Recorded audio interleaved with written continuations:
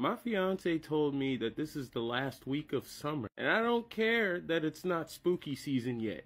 Since y'all want to end spooky season so early, I'm going to start with spooky season way early. See, back when horror films were, you know, actually scary, we had characters that were so terrifying and gruesome to the point where we were telling people, don't go to sleep. If you don't want to bump into this motherfucker right here, don't go to sleep. When Michael, Michael Myers over here, was over here slashing and dashing people, I never really took the time to think about how old he was. This man was in the 60s. No one ever pointed that out. When I think of Jason, I think of somebody who basically just hates young people. Or it could just be on some Shrek shit, like, stay out of my swamp. Honestly, I don't see him hurting anyone over the age of 30. Clowns will always and forever be creepy to me. That being said, I will still kick the paint off of their faces. I'm just saying, clowns are creepy enough without hearing about them taking people's alive away.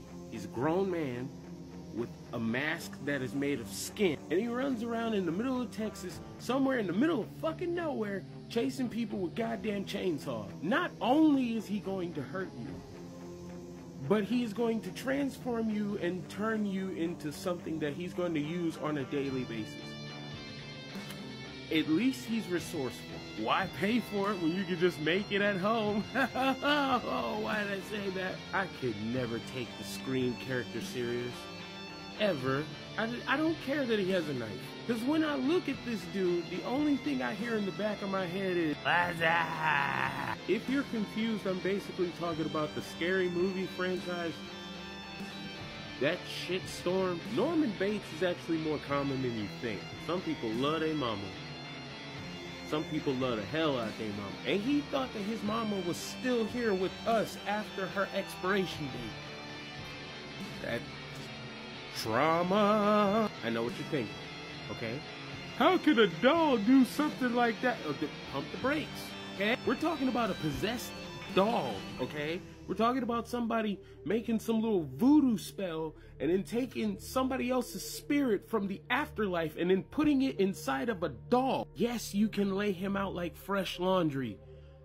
But that's not going to be easy. This is like a child chasing you around the house with a knife, except he's not clumsy at all. He's just making you run, and he is gaining on you. All these motherfuckers had to do was just not open the box. They would have never seen Pinhead up here if they never would have fucking opened the box. Curiosity literally killed the cat here. That was the overall stigma that I got with this character. I was more pissed than anything while watching this movie. This is the face of a coward who likes to torture people. He had a whole bunch of fucking animatronic shit walking around doing the work for him. He, this man never put any fear in my eyes because look at him.